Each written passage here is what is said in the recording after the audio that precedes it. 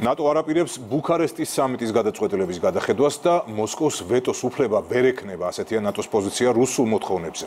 ალიანსი მჭიდრო კავშირშია ასპირანტებთან, საქართველოს საგარეო საქმეთა მინისტრის დავით ზალკალიანისა და გენერალური მდივნის იენს სტოლტენბერგის შეხვედრა რამდენიმე წუთის წინ დასრულდა.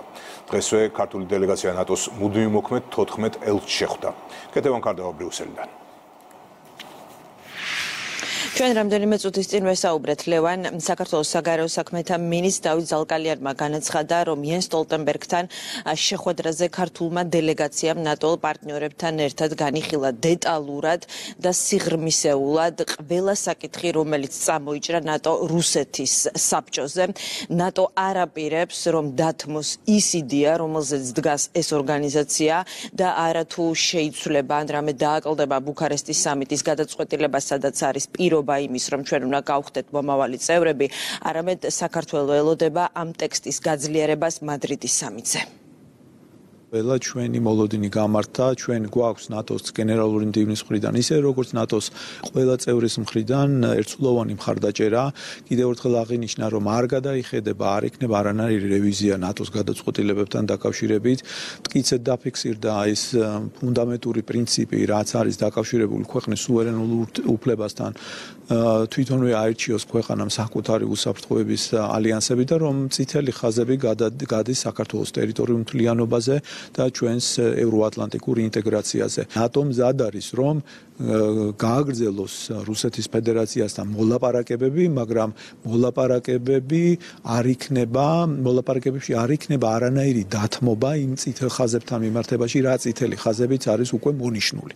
კიდევ ერთხელ მე მივიღე გარანტია, რომ ღიაკარის პოლიტიკა იქნება მადრიდის სამიტის დღის წესრიგის ერთ-ერთი მთავარი მიმართულება. მივიღე რწმუნება იმის შესახებ, რომ ჩვენ უნდა დავრჩეთ იმ დღის წესრიგში, რა დღის წესრიგიც იყო ინტეგრაციის გზაზე და ამაში გვაქვს ჩვენი ნატოელი პარტნიორების სრული მხარდაჭერა. ის რომ საქართველოს ტერიტორიული მთლიანობა და სუვერენიტეტი, ასევე საქართველოს უფლება გახდეს იმ ნებისმიერი იმ ბლოკის წევრი, რომელსაც თვითონ ის ჩათვლის წევრად, ეს არ არის საკითხები, რომელიც შეიძლება იყოს რაიმე სახით განხილვის განხილვის საკითხი არის მნიშვნელოვანი ის კონკრეტული გეგმები და ამოცანები, რომელიც დასახულია ნატოსთან ერთად, პარტნიორებთან ერთად, რომლის თავარი კონტექსტიც არის სწორედ ის თუ ახლოეს მომავალში მოკლევადიან საშუალებადიან და გრძელვადიან პერსპექტივაში როგორი იქნება საქართველოს ნატოს თანამშრომლობა და როგორი იქნება ის ნაბიჯები რომელმაც უნდა მიაახლოვოს საქართველოს თავის საბოლოო მიზანთან გახდეს ევროპული და ევროატლანტიკური სივრცის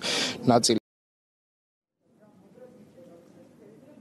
ესპანეთში საქართველოს უკვე მიწვეულია და მეორე ასპირანტი უკრაინაც ყველა სურვილია და განსაკუთრებით ჩვენი იმ სახელმწიფოების რომლებიც ველოდებით გაწევრიანებას რომ მადრიდის სამიტი იყოს უფრო მეტად მნიშვნელოვანი ევროინტეგრაციის გზაზე საქართველოსთვის და უკრაინისთვის ვიდრე ეს იყო ბუქარესტის 2008 წლის ლიდერების შეთანხმება. ამისათვის მომზადებაა საჭირო საქართველოს საგარეო საქმეთა მინისტრი. ამბობს რომ ჭიდრო კონსულტაციები ნატოსთან გაგრძელდება. ხვალ გენერალური მდივანი. ბერლინში ჩავა შეხვედრა აქვს გერმანიის კანცლერთან და რუსეთთან დაკავშირებით განცხადებებს უკვე გერმანიდან ველოდებით